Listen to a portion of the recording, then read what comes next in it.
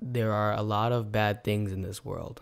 Breaking news, moment by moment developments in what will go down as the worst mass shooting in American history. Recent memory 11 officers shot, five of them killed. A tense standoff with one of the suspects in that deadly ambush on Dallas police reportedly ended around 2.30 this morning local time. 62 people have been killed by U.S. airstrikes on the Syrian army, according to the Russian Ministry. May have survived. His family did. This comes just weeks after, just a week after the last remaining doctors inside Aleppo, they wrote a, a letter to President Obama begging for help. But if you look closely, there is much beauty as well.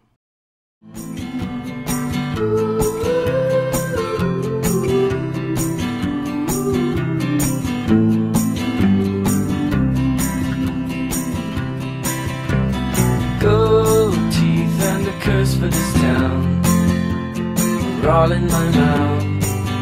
Only I don't know how they got out. You turn me back into the bed I was when we met.